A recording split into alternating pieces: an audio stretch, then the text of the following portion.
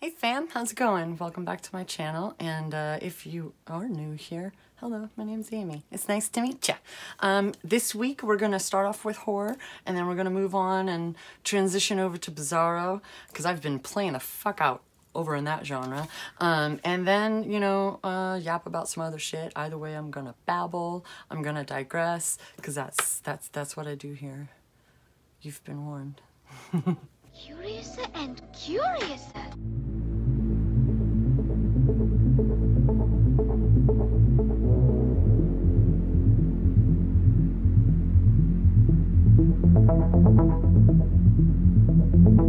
Okay, first of all, I should warn if you're new here, I should warn you, I'm finicky about spoilers. Even just simple as shit that someone will mention, I'm like, oh, kind of wish I didn't know that. That, but like, that's me. Um, but I also like, it's easy to get carried away when you're yapping, you know what I mean? So I'm gonna try at least, at the very least, in editing to provide timestamps and all that groovy shit. Okay? Um, yeah. So here we go. The first story, I am, I'm, I'm, I'm happy to talk about this shit. This is my jam. If you've been here, you know I love this shit. Mexican Gothic. I almost dropped this shit. Freaking Mexican Gothic. so when I first began hearing about this book, when it first came out and everyone was reviewing it and shit, when I hear things that I like about a book, or if I'm watching someone play a game on Twitch or something and I like what I'm seeing or hearing, then I'm gonna hit a point where I'm like, la la la la, and I just tune out. I'm usually reading a book while I'm going through, um, catching up on booktube videos and shit because once I hear after a point, like I don't fucking want to hear anything anybody else has to say until after I've read it because you've wooed me, okay? You did that. Um, so since reading this, more people have, I've been watching more people review it, and a lot of people have called it a slow burn. I normally don't like slow burns, and so when I heard someone describe it as a slow burn, I was like, Oh, it is, isn't it? I'm just such a sucker for this kind of, for the gothic shit. And as a matter of fact, when I was finishing reading this, I realized I don't have anything else. I'm all, I'm like, I'm all caught up on my gothic shit. Oh no. And I actually, you're not gonna believe it. I ordered Rebecca. I feel like my entire life I've been wanting to read Daphne shit. Or this shit, you know? And I don't know how I made it this far. So that made me feel better, but then I realized, oh, I do have something. And I'll get to that one later. So I had a bridge to kind of see me through. Anyway, um, so I guess this was a good way for me to realize about myself that, yeah, I do. It just depends on how the slow burn goes, I guess. And like, is there like, is it described as a Victorian manor? I think it is, like right from the get-go, and I was like, ooh, fog, ooh, freaking cousin talking about ghosts and shit, ooh. So like,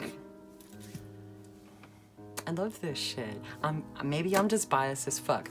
Know that I might be a bit biased as fuck about this shit. and uh, I'm just gonna blame VC Andrews. I read so much VC Andrews in high school. My favorite is My Sweet Audrina, the one standalone. So you would think that throughout my life I would have already known a long time ago that that's my shit, that's one of my jams. But no, I just realized when I was panicking. so not leaving myself without something like that to read ever again. Moving on. so anyway, I love this story. I fucking love this story. Enough to where I feel like that's all I can say. Really, everybody else has been, you know, you've heard a lot about this story, haven't you? I went to later. Oops, shit. Oh, oh no. Okay, so for me, this is the first of the hard case crime books of his that I've read. Not because I was like, fuck that, but more just like, I'll get to it. I still intend on getting to it, okay? Um, but the things I was hearing about this one really like I couldn't wait. I, I need I needed it. I wanted to get this over and done with. And I was really tired of skipping everybody's shit. So um if you are a someone like a fan who's read quite a bit, then it'll be, it can be like Pee Wee's Playhouse. You know what I mean? And there is this particular word starts with the D. So every time you see this D word, in the book, you gotta lose your fucking mind. All right, and that's what a lot of these are. The other ones are probably me going, beep beep, Steven. Oh shit, that's what I get. That's what I get for getting cocky. Um, because there's a lot of repetition and not not the one that you might if you read it, not the one you might, but you know what I mean, like. Um, how many times are you going to fucking tell us it's a goddamn horror story? Which brings us to what I really want to discuss with you guys. Um, and that is the like what fuck genre. That's the topic of this particular discussion. and I feel like this is a really good example of that because like do you like what do you think he does? Do you think he sits there and goes, "Okay, no, this one this one's to be horror as fuck." And that one, oh no, no, no. Hard case. And shit like or do you think it's like, eh, you know, I don't know. Is it planned? You know what I mean? Like, what is the deal with that? Because ultimately, you're gonna hear over and over. I told you this horror story. Um, like when I'm writing, like my heart and soul may be in horror, but at the same time, it's like my perceived good story when it comes to what I want to read. Right? It's usually horror, so it's whatever. Um, and this one, like I said, I feel like like it could be either or really because it's stephen king you know what i mean like him and Koontz when i ran the horror section at that store were like my fluffer guys you know what i mean Saying, saying, know what I'm saying too many times. 80 or 90 times? That's too many times. Once or twice is cool, but 80 or 90 times, man? What are you from the department of Noam Sands? You taking No, the I ain't Noam from the census? You counting No, my I- Noam horror doesn't get as much love in a used bookstore as other genres do like mystery and shit um which is really silly. And that's why i haven't done the horror tube tag thing because there's that question about like what's wrong with you or whatever like you know what? Fuck those people because aren't we all reading about people dying and shit? Mystery thriller horror. I feel like us horror fans are just more comfortable in that darkness. We're more comfortable with it all. And we got really fucking good survival skills. Thank you. You know what I mean? Whereas the mainstreamers and the mystery thrillers, no offense, because I dig that shit too. Like we're all reading, like Patricia Cornwell. She was a medical. She really was a medical examiner. That bitch gets really fucking graphic in that shit. like damn, I'm reading that shit with my mom. So I feel like that's a good example of fuck genres. Let's bend that shit. Let's write like, do you want a story? Have I got a story for you? That's all he's doing with that. Um, and I put that shit away before I read the synopsis, didn't I? Sometimes growing up means facing your demons. Uh, the son of a struggling single mother, Jamie Conklin just wants an ordinary childhood. But Jamie is no ordinary child. Born with an unnatural ability his mom urges him to keep secret, Jamie can see what no one else can see and learn what no one else can learn. But the cost of using my voice, I fucked it up last week, my voice. But the cost of using this ability is higher than Jamie can imagine as he discovers when an NYPD detective draws him into the pursuit of a killer who has threatened to strike from beyond the grave. My favorite Stephen King story is Lisey's Story, and I'm really excited to. Uh, hmm, I'm excited, and yet I'm also like, please, please, please, please go on to the Bizarro. Um, I'll talk about this one since it's the longest one. This is a collection of stories um, by Jeremy Robert Johnson. Um, so, this book has contents and it's laid out a very specific way. I don't want to like take that shit away from you, but it's parti- particular uh, collections and then stuff that follows. And one of the things that follows is the full unabridged version of one of those short stories. And the only reason I'm saying that and not just letting you experience that on your own is I fucking wish I'd known that from the first, like right from the, I wish someone had told that to me, like, yo, life's too short, just read this one. While it may be interesting to see what's chosen to pare it down to and then see like what it's like unleashed or whatever, but like, I that dude. I wish I could have like read that first. Jeez. Anyway, my favorite story from here is called Cathedral Mother, but I'm also biased as fuck because that's like up in the trees in the Pacific Northwest, you know, like up in those tall ass fucking redwoods and shit, and just is a good one. I have so many like this. Th- these stories, motherfucker. Like, like if you're into Bizarro, if you're into some shit, yeah, sure. There's one point where I was like, I don't know if you're trying to trigger me as a woman on purpose or not. God, I wish I could remember what name that one is. One of my general notes is apparently this writer will sucker punch your feels at times. Maybe that's why I don't remember very much. I repressed that shit. but also, like, um, it's still Bizarro. And one of my favorite things about Bizarro is, like, especially with, like, books like this. We have Tongue, or Teeth and Tongue Landscape by Carlton. Yep, Carlton Mellick III. And then we have Winnie by Katy Michelle Quinn. They're so small, right? They're so small. And yet you'll be at a point with these books where you're like, where the fuck else can you go? Like, where the fuck, where the fuck? But you still have like 50 pages left, and you're like, what the fuck?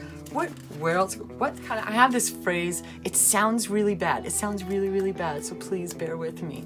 Um, but it's, you know, like, you're watching anime, right? Say you're new to anime, and you're like, what the fuck is that character a talking bear? What the hell?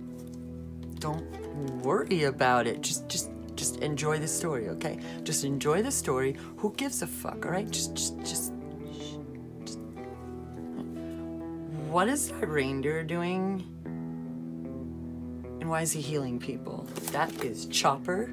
You will respect and just give in like it's anime, folks. Just, just, just give in. Why are you asking so many questions? We're on an adventure. Like we're, we're going places. Don't worry about what's coming next. Don't worry about these freaking talking animals. These freaking drink the horn juice, okay? It's okay. it's like that's bizarro. Just just give in. Stop asking questions. Grab your ankles. Give in. Sometimes it's okay with consent, all right? You need consent.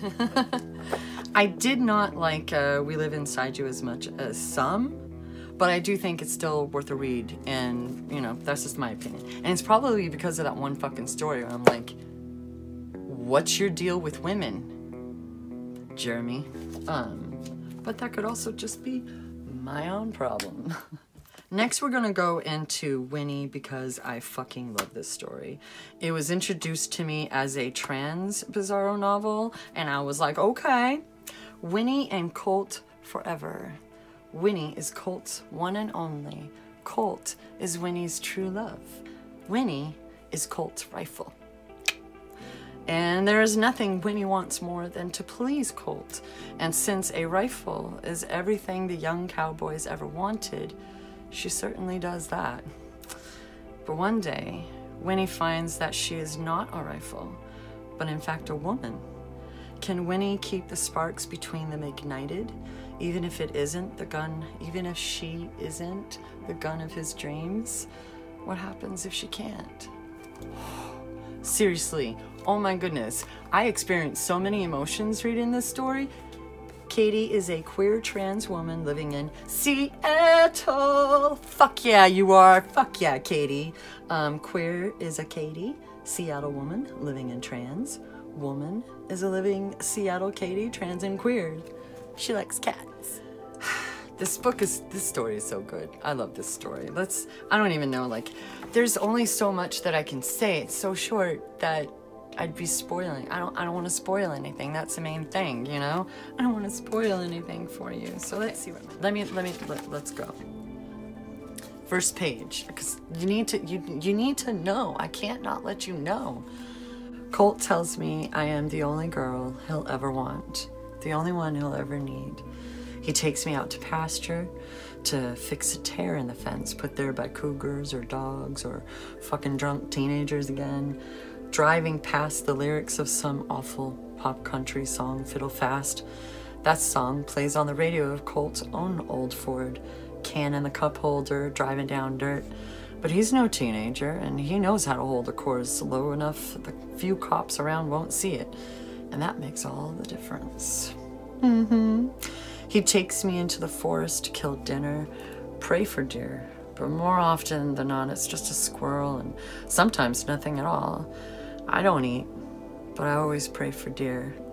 That way, when Colt holds me close, hands wrapping me tight, whispering, You got this, girl.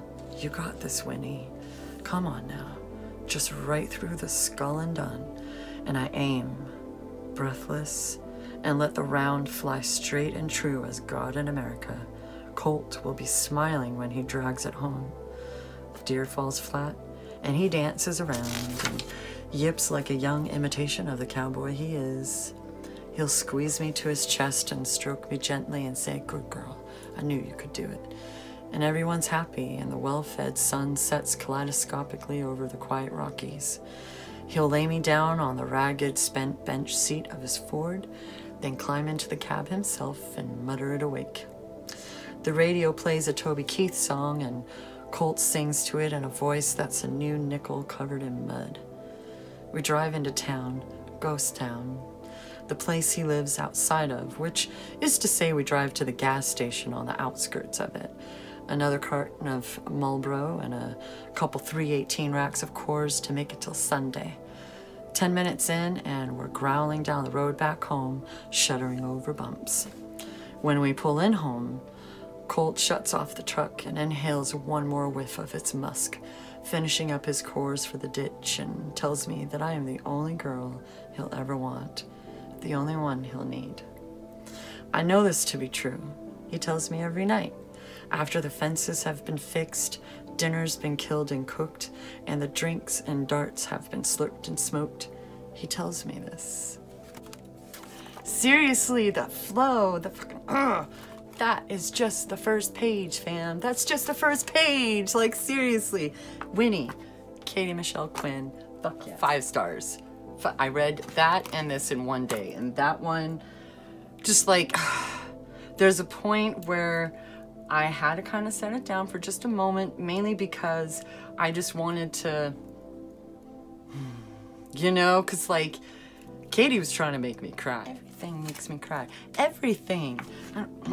So, you know, like get some food, come back, get right the fuck back to it. now, this is my second Carlton Mellick the third book or that I've read. The first one was A Haunted Vagina. I loved that book. I was that was my first Bizarro novel novel story that I ever read.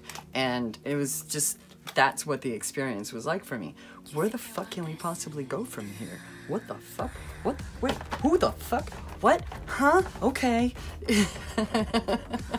so we were on good terms. And then I started reading this, and I really want to know who do I turn in my complaint for the mishandling of Metal Woman to? Who do I who do I turn in that complaint to? Because what the fuck? Like, okay, so Thankfully, this is one of those author's notes in the beginning of the story that doesn't fucking spoil shit for you.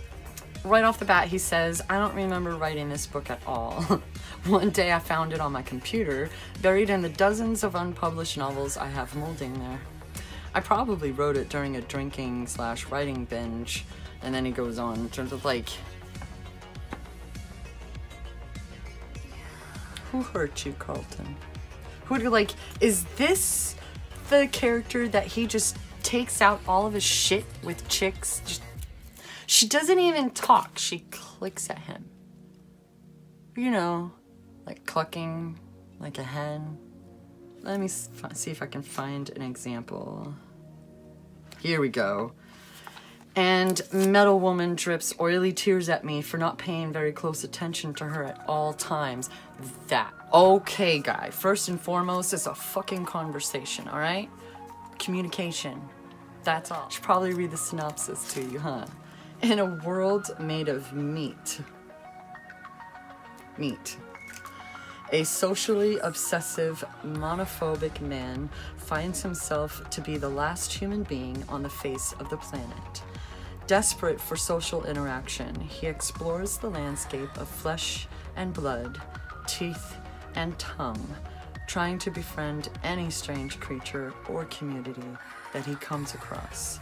And that's like literally where I want to leave it at because I don't I don't like I just I just who do I complain to for the mishandling of Metal Woman? And even and the only reason I'm comfortable saying that is because even it's Bizarro. Where the fuck where the fuck don't worry. don't fucking worry. I don't think I don't think I've actually spoiled anything. It's like I'm trying I'm just I've been trying to stick to my feelings and stuff.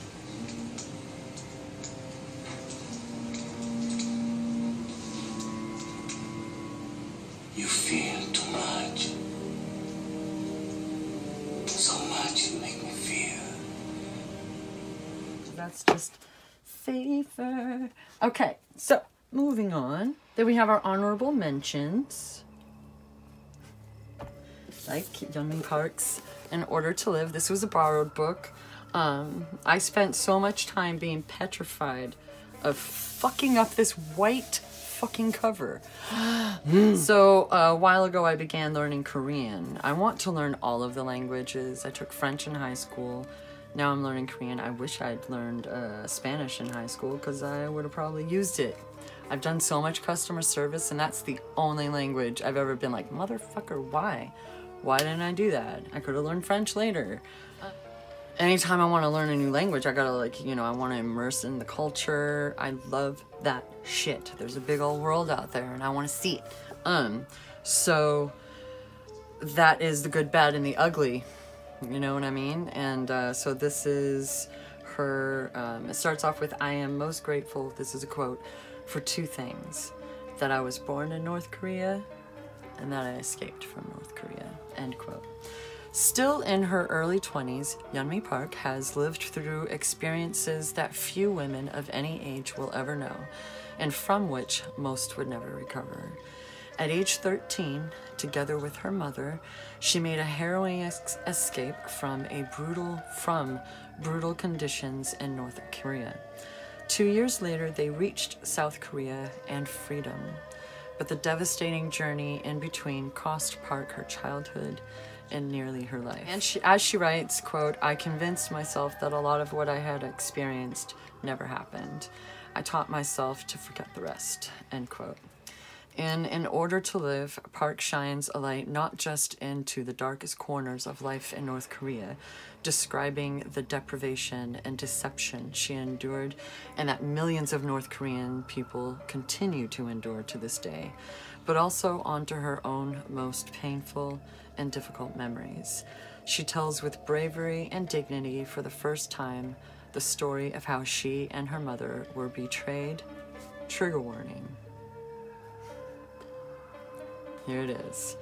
And sold into sexual slavery in China and forced to suffer terrible psychological and physical hardship. Park confronts her past with a startling resilience, and I agree. In spite of everything, she has never stopped being proud of where she is from and never stopped striving for a better life. Today, she is a human rights activist working determinedly to bring attention to the oppression taking place in her home country. Park's testimony is rare, edifying, and terribly important, and the story she tells in In Order to Live is heartbreaking and unimaginable, but never without hope. I agree with all of that. Um, this is a very difficult read at times, especially if you read it after a book like Kindred by Octavia E. Butler. What was I thinking? My soul has been crushed so fucking much. So fucking much. And I still just want to read about people living their lives. I am really bad about like some of my follow up books. Like sometimes it's like, man, I just want to get away from these tropes or this particular whatever, and I'm just right back in it with that next book, fam. But uh, yeah, there's a lot of serious shit going on in this. Um, but if you know you can handle that, or you have a responsible adult, someone to hug, whatever the heck. Then I read Honey Girl, and I'm so fucking thankful that I read Honey Girl. I needed this. Oh my god. So, like, uh, I feel very wooed with this story because she is an astronomer. Hello. With her newly completed PhD in astronomy, fuck yes, in hand, Grace Porter goes on a girls' trip to Vegas to celebrate. She's a straight A, hardworking, high achiever. We love a Gilmore around here. Not a Gilmore. We love a Rory around here. um, although, really, that character was kind of a fucking spoiled brat, wasn't she? She is not the kind of person who goes to Vegas and gets drunkenly married to a woman whose name she doesn't know. Until she does exactly that. This one beautiful, spontaneous moment upends Grace's carefully laid life plans. Staggering under the weight of her parents' expectations, a struggling job market, and feelings of burnout, Grace flees her home in Portland, Oregon, um, for a summer in New York with a wife she barely knows. In New York, she's able to ignore all the constant questions about her future and falls hard for her creative and gorgeous wife, Yuki Yamamoto. But when reality comes crashing in, Grace must face that she's been running from what she's been running from all along the fears that make us human and the need for connection, especially when navigating the messiness of adulthood. Word. I kind of wish that they didn't go as deep as they did in that synopsis. Um, what's my note here? Wound up identifying with it way more with main character that's what that is way more than i'd planned on emotionally investing um, especially after something like Addie LaRue fuck. Rent a two bedroom with a shitty balcony and an ugly cactus. Like what did that fucking cactus do to you? It's basically full of a lot of human humanity. A lot of those moments that like this was a good like chill out need to like wind down and pass the fuck out soon story. Um, and astronomy. All right, have you watched the Haunted series on Netflix yet? Cause oh, I love that shit. I fucking love that shit. The freaking Latin America one has been added on. So if you've been eyeballing it and you haven't read it, or we're moving on to a show, Amy. Um, you should check it out. You check it out. I've been trying to remember and I keep forgetting to freaking look at it and I'm filming on my phone. So um I'm gonna completely change my setup here next time. So here's to hoping I don't fuck that shit up. I can't remember if it was Haunted or if it was another show because a couple of them came out around the same time as that first season of Haunted, right? And the other one wasn't necessarily about hauntings and shit scary-ish but like real real stories. It was very much so a nah. Like you gotta you know decide which one like that one might have actually happened but this bitch is lying. That kind of shit. Mainly because there was one was the final story in that season? in like upstate new york like up in the boonies. But wasn't it was like in the 70s or something like that. And there's like no no, no fucking way. There's no way. I even googled it. There's no like I'm not the only one thinking this. Do you have you watched it? Do you think that shit was true? Mm. I cuz I think one of the things that enables it is back then, like if you're in a city along the coast uh, here, at least here in America, cuz that's what I can speak of. Um it feels a little crowded. you know what I mean? Especially these days. But to think of like one of my main complaints with a city like Seattle um, is like, oh, I miss it when I was a kid. There just wasn't so many people. You know what I mean? It was so chill. And now it's just, we don't have roads, it's just parking lots. and um, it's like, I remembered that. So New York is probably the same way. And if this was back in the 70s, but I don't know. You could get like another enabling thing, just fucking DNA shit and fingerprinting. Like it was all like whatever for investigators was a thing. It was such it's such infancy of it's like just that is cold as fuck. I think that's one where it's been embellished. But I've really the Latin American one is is really fucking it's really fucking good. There's even a fucking doll episode. Oh yeah. And also the episodes aren't that long. They're like 20 to 30 minutes. So and there's like maybe six. It's one of those shows you can really binge through. So seriously, if you haven't given it a chance yet, what the what? Huh? The artist spotlight for this week is Amanda Todd Illustrations. So we met originally on Twitch, uh, and she used the name Lady Ghoul. Like, had these holographic stickers. Fucking cool. I love her art style. And there's this one. Hopefully those are showing up okay with that stupid fucking um, she's a great artist. All kinds of stuff on her Etsy shop. She updates it regularly. Fam. And she is around on socials. There's something else she does, but I'm not gonna tell you about that because that is like, you know, she's on a team and shit. This is her shit, you know what I mean? Um, and this is also her pin that I've had up there. Um, I'm trying, I have a hat that has a lot of pins on them, hopefully. Sorry.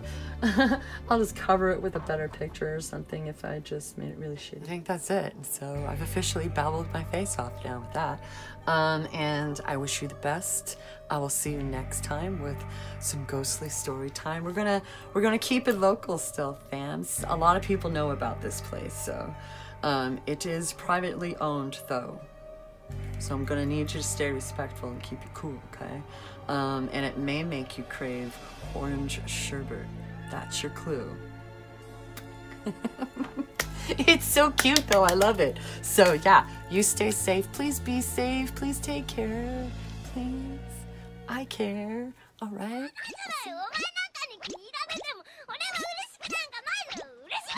I forgot the books I'm currently reading. I'm still just perusing the Four Agreements in the morning for those positive vibes. And I start off with the Devil's Own, which when I thought that when I was finishing Mexican Gothic, I thought that I was done, that that was it for my Gothic stories, romance, horror, fucking thriller, whatever. And I was really upset. And then I realized, wait, I got this. So this is by Janet Louise Roberts. It was published in 1972 by Avon. If you're making some assumptions, I bet they're the same ones I did. I'm happy to uh, to report that I'm uh, I'm pleasantly surprised. So far, so good. There is a point where, um, right from the get because I'm really not that far into it. Look, let me read. Let, let me read this. Let me read. When Isabel was first initiated into the secrets of the weird parties her Aunt Camilla gave for her strange circle of friends, she was frightened to the very marrow of her bones. Even Matthew, her college boyfriend, couldn't comfort her. And when they took her out to the heath to be ravished by someone she could only vaguely recall in the morning, or was it a dream? She shook with enormous fear. Enormous! Then, when she discovered those mysterious marks on her body and saw the glitter in Matthew's eyes, she realized the truth. The truth she was born to discover. Um, so, right off the bat, one of the first things they tell you is that she can hear people's thoughts. But she's thinking, like, well this is this is my family this is the, of course I, I can like predict what they're thinking or i can guess what they're thinking and shit like whatever but then like so this actually starts off a lot like that House of Shadows by Darcy Coates in the sense that it feels very rushed. You know what I mean? But I think it's on purpose because like whereas that one she kind of like within the first few pages gets like married off to this guy. Um, this one she's going off to college, right? Um, and this Aunt Camilla is like this adoptive, like she's kind of taken uh, Isabel under her wings. But getting there, she's like, the fuck is wrong with me? Because it's 1972, sweetie. If you can hear voices, you're fucking crazy. And you're gonna, you know? Don't wanna say it. Ooh, don't wanna say it. And so, the, you know, reading that these days is kind of like, mm-hmm. Yeah. Mm, but it's not like I don't want to say it's handled truly disrespectfully. It's one of those like sign of the time kind of bullshit things, you know what I mean? It's it's weird because it can be very almost like it has that Victorian kind of gothic touch. The way people talk with one another and stuff, it makes you think that it's way further back in American history. Um, when it's, you know, pretty sure it's set in the 70s you know what i mean? At the same time like i feel like janet because what's one of the main tropes or whatever vibes about gothic literature right? Isolation. So in this one she goes with that like even though isabel is like she's off to college and the place where she lives at you know aunt camilla has people coming over all the time like there's always someone around, you know what I mean? And yet there's still very much so that isolation, even when she's in class. And so oh. there's still that like vibe going on. I'm hoping that she doesn't use Matthew's ethnicity as, you know, a bad thing in the end, considering that synopsis and stuff, you know? because for right now it seems pretty progressive. um, so I'll let you know. With my like attention span, I tend to I have Bookly going like timing it, and I'll give an hour to one, and then I usually give an hour to to another one. If I feel like reading, go for it. You know what I mean? But usually about it's kind of like with meditation. But like I still at this point am sticking to like 10, maybe 15 minutes because around the 10 minute mark, my brain is just like, you cannot control me. Uh, so it's kind of the same way when I'm reading. Even though I may be loving the book or whatever the fuck, my brain is still gonna have a point where it's like, okay, we've been sitting here for a fucking hour now. Let's do something else. There's only so much time in the day, you know. Um, but like, or it doesn't. And there have been times where I've catch myself getting distracted and I get mad. like, God damn it, I just want to read this book. So I'm I am enjoying this one. Let me read the synopsis for you. Hidden in the depths of 18th century London, a secret apothecary shop caters to an unusual kind of clientele. Women across the city whisper of a mysterious figure named Nella who sells well disguised poisons to use against the oppressive men in their lives. Nella's dark world is no place for her newest patron, a precocious 12 year old girl named Eliza Fanning. But their unexpected bond sparks a string of consequences that echoes through the centuries. 200 years later, aspiring historian Caroline Parcewell discovers an aged apothecary vial in the River Thames, and she's newly grappling with this as as she is newly grappling with the searing betrayal of her husband's infidelity motherfucker. Um, a curious research project is exactly the distraction Caroline needs. Anybody else hear a certain voice in their heads when they hear the word Caroline?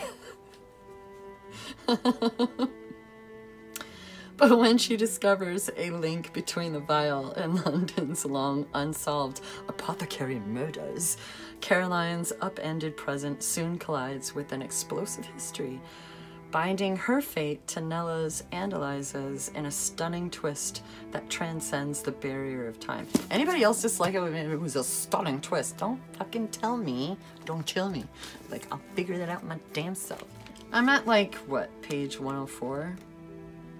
100 exactly. Um, I think that's a chapter break actually. Yeah, I'm on chapter 12. Um, but yeah, yeah, yeah, yeah. And then my nighttime book, the one that has replaced Honey Girl for me, is Get a Life Chloe Brown, which I was supposed to read in February, but fucking A, a day that ends with Y. Um, in the sense of if we're talking about human civil rights issues, day that ends with Y. So not just February, am I right? So, um, this is just like Honey Girl. Um, this is nice and chill. Great. Like this one, I actually think that I get a little more upset with myself when my eyes, my eyelids get heavy than with Honey Girl though. And the only reason why I'm comparing them together is because that's that was my previous nighttime reading. So the synopsis for this, I first heard about this stuff. The reason why I went, wound up with this was because of the second book, and I was like, well, fucking a, that sounds good. I gotta read the first one. Um, this is the Brown sisters. So here we go. Chloe Brown is a chronically ill computer geek with a goal, a plan, and a list. Fucking love a good list.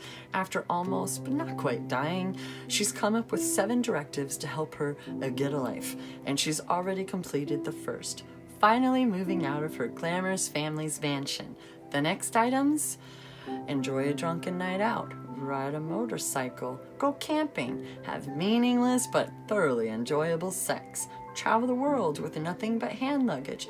That one always like. I mean. Then you don't have to worry about it getting lost. And, you know, do something bad. But it's not easy being bad, even when you've written step by step guidelines on how to do it correctly. What Chloe needs is a teacher, and she knows just the man for the job. Redford Red Morgan is a handyman with tattoos, a motorcycle, fuck yeah, and more sex appeal than 10,000 Hollywood heartthrobs.